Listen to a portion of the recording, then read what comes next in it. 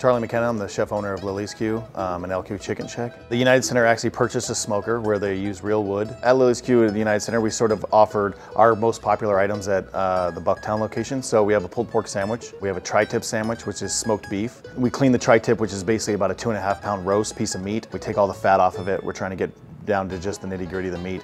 We rub that with our Q-rub and then it smokes for roughly, you know, an hour and a half to two and a half hours. So we hold that, we slice it as paper thin as possible with a knife and then we place it on the brioche bun which is a nice soft roll, has a little buttery texture to it, really complements the meat.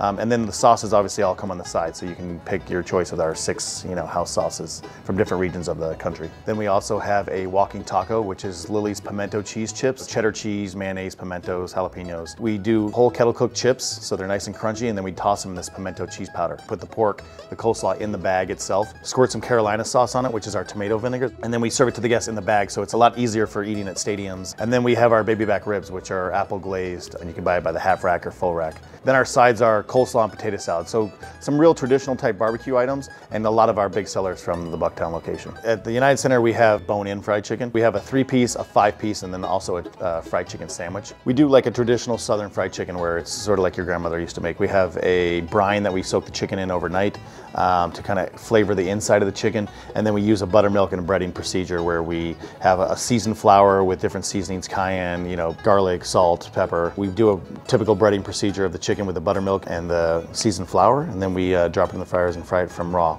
Lillie's Q's at 205, and then LQ Chicken Shack's at 206. They're right next door to each other.